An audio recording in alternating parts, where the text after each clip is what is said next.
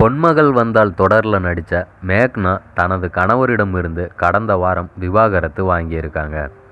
இந்த விவாகரத்துக்கு காரணமே அந்த சீரியலில் கூட நடித்த விக்கி தான் அப்படின்னு பேச்சுக்கள் எழுந்துச்சு.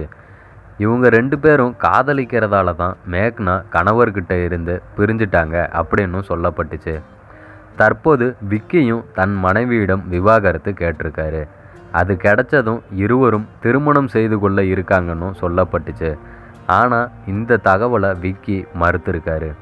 இது குறித்து விக்கி என்ன சொல்லியிருக்காருன்னா சீரியலில் ஜோடியாக நடிக்கிறவங்க நெஜத்துலேயும் ஜோடியாகிடுறாங்க அப்படிங்கிற தப்பான ஒரு கருத்து நிலவி வருது. அப்படித்தான் என்னை பற்றியும் மேக்னா பற்றியும் வதந்திகளும் நிறையா பரவுச்சு. நாங்கள் இருவரும் ஒரு தொடரில் இணைஞ்சு நடித்தோம் நல்ல நண்பர்கள். இதை தாண்டி எங்களுக்குள்ளே எதுவும் கிடையாது. இதை நான் ப கடந்த பல மாதங்களுக்கு முன்னாடியே தெளிவாக சொல்லிட்டேன். எல்லா குடும்பத்துலேயும் பிரச்சனைகள் இருப்பது மாதிரி தான் என் குடும்பத்துலேயும் சில பிரச்சனைகள் உண்டு. அதை நாங்கள் பார்த்துக்குறோம் எனக்கு ஆறு வயசில் ஒரு மகன் இருக்கான். அவனோட எதிர்காலம் எனக்கு ரொம்பவுமே முக்கியம்.